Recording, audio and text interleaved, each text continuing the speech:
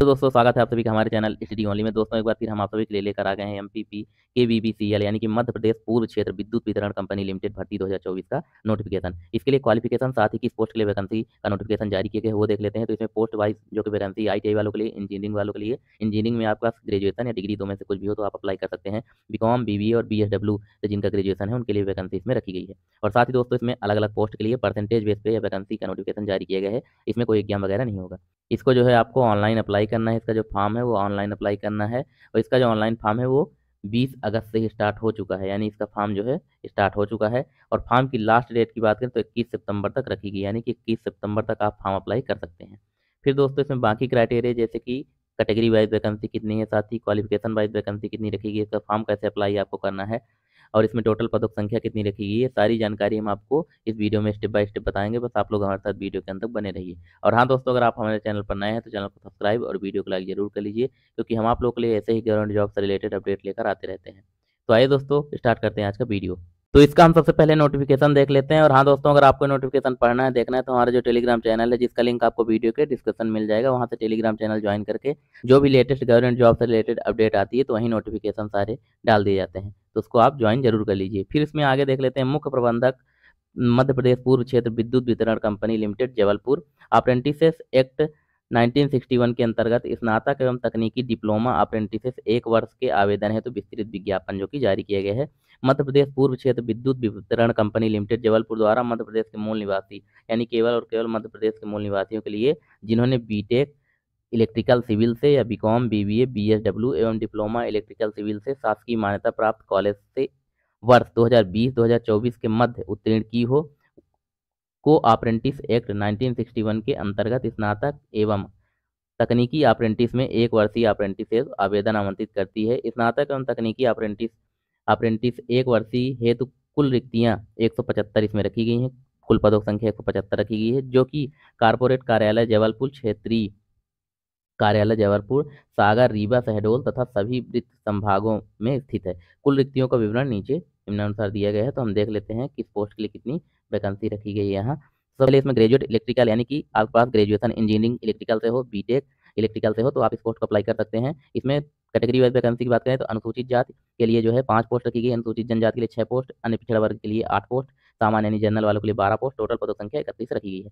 फिर जो अगली पोस्ट है, ग्रेजुएट सिविल यानी बीटेक और बीटेक आपके बी या बीटेक आपके पास सिविल से हो तो आप इस पोस्ट को अप्लाई कर सकते हैं। इसमें अनुसूचित जाति की पोस्ट तीन रखी गई अनुसूचित जनजाति की चार पोस्ट रखी गई अन्य पिछड़ा वर्ग की छह पोस्ट, सामान्य की आठ पोस्ट और कुल टोटल पदों संख्या देखी जाए तो इक्कीस पोस्ट इसमें रखी गई है। फिर ग्रेजुएट वाणिज्य लेखा संख्या यानी बीकॉम आपके पास है। बीकॉम वाले के लिए तो छह पोस्ट जो है वो अनुसूचित जाति के लिए आठ पोस्ट, अनुसूचित जनजाति के लिए ग्यारह पोस्ट, अन्य पिछड़ा वर्ग यानी ओबीसी के लिए चौदह पोस्ट इसमें जनरल वालों के लिए रखी गई है। टोटल पदों संख्या थर्टी नाइन यानी उनतालीस इसमें रखी गई है।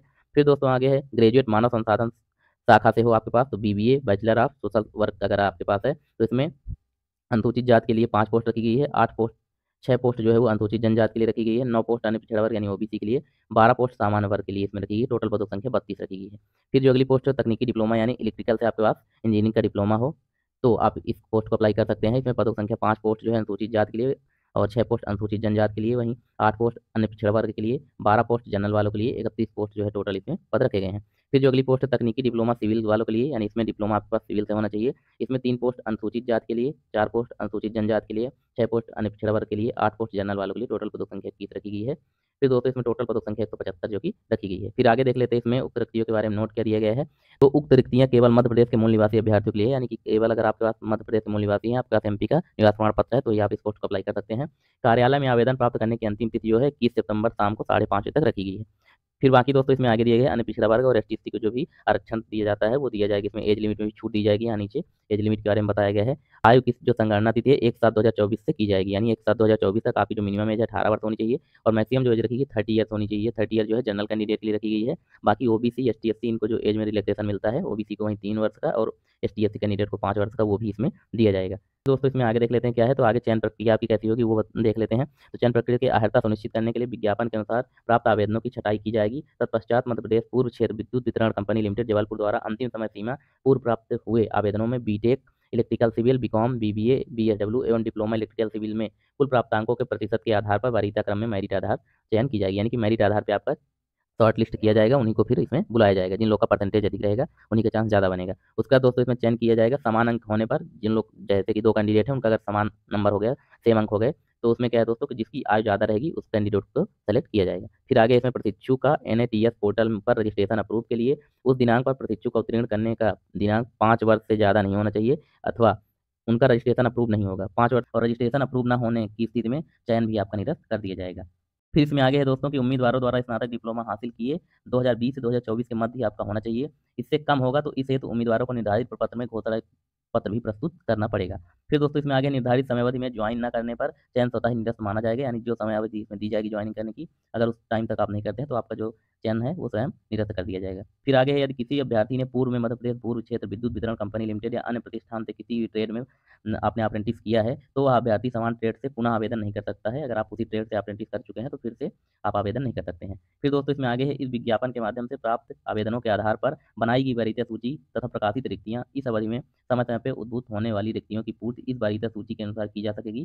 प्रथम परिणाम घोषित होने की तिथि से एक वर्ष अवधि तक के लिए वरीयता सूची वैध रहेगी, यानी एक वर्ष तक आपका ट्रेनिंग यानी कि आपका जो अप्रेंटिस पीरियड है, एक वर्ष का रहेगा। तब तक आपको इसमें रखा जाएगा। फिर दोस्तों, इसमें स्टीफन की बात कर लेते हैं। स्टीफन कितना इसमें दिया जाएगा?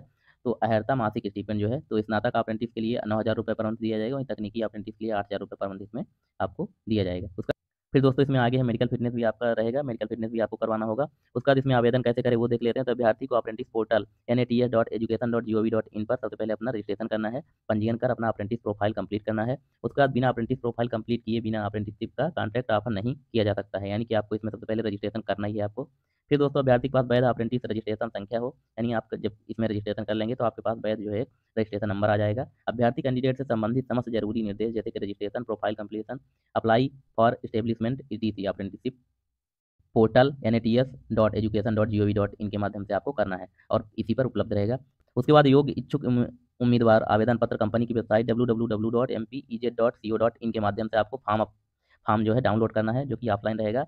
अधो हस्ताक्षरकर्ता को कार्यालय एस पी बी टू केंद्रीय प्रशिक्षण संस्थान नया गाँव जबलपुर, मध्य प्रदेश, अड़तालीस दो हज़ार आठ। ये जो कि इसका यहाँ का पिन कोड है, दिनांक इक्कीस नौ दो हज़ार चौबीस, शाम साढ़े पाँच बजे तक आपका जो ये फॉर्म है, ये दोस्तों पहुँच जाना चाहिए। और ये जो फॉर्म है आपको इसी वेबसाइट के द्वारा डाउनलोड करना पड़ेगा। या फिर पीडीएफ में नीचे फॉर्म जो है, ये अटैच है तो ये आप लोग यहाँ से इस पीडीएफ से डाउनलोड कर सकते हैं इस फॉर्म को और प्रॉपर एक एक चीज़ देख के फॉर्म अप्लाई कर सकते हैं। साथ ही जो जो डॉक्यूमेंट इसमें मांगा गया वो भी आपको इसमें अटैच करके रखना है। इसमें फॉर्म के अलावा आपको क्या क्या अपने डॉक्यूमेंट भेजना है तो हम बता देते हैं। तो सबसे पहले पासपोर्ट साइज़ की फ़ोटो एक चाहिए, उसके अलावा दसवीं की मार्कशीट आपकी होनी चाहिए। फिर उसके बाद दोस्तों बारहवीं की अंक सूची डिग्री, डिप्लोमा प्रमाण पत्र अंक जाति प्रमाण पत्र और आय प्रमाण पत्र शारीरिक विकलांगता से अगर आप फॉर्म अप्लाई हैं तो उसका भी प्रमाण पत्र मूल निवास यानी निवास प्रमाण पत्र फ़ोटो, आईडी प्रमाण पत्र यानी आधार कार्ड, पैन कार्ड, एक आईडी आपकी होनी चाहिए यानी टी का, जो रजिस्ट्रेशन आप करेंगे वो रजिस्ट्रेशन संख्या का प्रिंट आउट जो है उसको भी। इन सबकी जो फ़ोटो कापी आपको इसके साथ, इस फॉर्म के साथ अटैच करके आपको भेजनी है, जबलपुर वाले एड्रेस पर इस एड्रेस पर उसके बाद दोस्तों इसमें आगे है कि आवेदन दिनांक 20 आठ 2024 से स्टार्ट हो चुका है और इक्कीस नौ, यानी इक्कीस सितंबर 2024 तक इसके फॉर्म भरे जाएँगे। इसके पूर्व आवेदी तथा पश्चात, इसके बाद, इस डेट के पहले और इस डेट के बाद जो लोग आवेदन करेंगे, उनका जो है वो स्वीकार नहीं किया जाएगा आवेदन।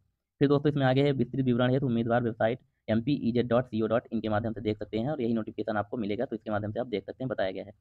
और आपको अगर अप्रेंटिसशिप पोर्टल पर किसी प्रकार की समस्या होती है पंजीकरण में तो आप ये जो नंबर दिए गए मोबाइल नंबर इस पर बात कर सकते हैं या फिर यहाँ जो आपको जीमेल दिए गए यहाँ मेल करके पता कर सकते हैं। फिर दोस्तों, इसमें आगे महत्वपूर्ण निर्देश दिए गए हैं। उसके बाद यहाँ आपको आवेदन पत्र मिल जाएगा तो इस प्रकार से आपको यहाँ इसी फॉर्म को आवेदन इसी के माध्यम से करना है। यहाँ आपको एक फ़ोटो लगानी है। फिर दोस्तों, आवेदक का पूरा नाम, हिंदी, अंग्रेज़ी में दोनों में आवेदक के पिताजी का नाम, ये सारा चीज़ आपको भर के उसके बाद रजिस्ट्रेशन नंबर जो आप एन का रजिस्ट्रेशन करेंगे, वो रजिस्ट्रेशन नंबर भी यहाँ डालना है। इस तरह से ये पूरा फॉर्म भर के आपको यहाँ आपको अपनी शैक्षणिक योग्यता, टेंथ, ट्वेल्थ, ग्रेजुएशन सारा चीज़ यहाँ लिखना है। उसके बाद दोस्तों, इसमें संलग्न पत्र यानी आपको अटैचमेंट क्या क्या करना है, डॉक्यूमेंट यहाँ दिया गया है। तो ऊपर जो हमने आपको बताया, सारे डॉक्यूमेंट अटैच करके फिर आपको उसी जबलपुर वाले एड्रेस पर भेज देना है। आपको और हाँ दोस्तों, अगर आपको इस फॉर्म के बारे में कोई डाउट है तो आप लोगों कमेंट बॉक्स में कमेंट कर सकते हैं। वहाँ हम वहाँ आपको प्रॉपर रिप्लाई उसका दे देंगे। अगर हमारे द्वारा दी गई जानकारी आपको अच्छी लगी तो हमारे चैनल को सब्सक्राइब और वीडियो को लाइक ज़रूर कर लीजिए। क्योंकि हम आप लोग के लिए ऐसे ही गवर्नमेंट जॉब से रिलेटेड अपडेट लेकर आते रहते हैं। तो मिलते हैं दोस्तों नेक्स्ट वीडियो में, तब तक के लिए धन्यवाद।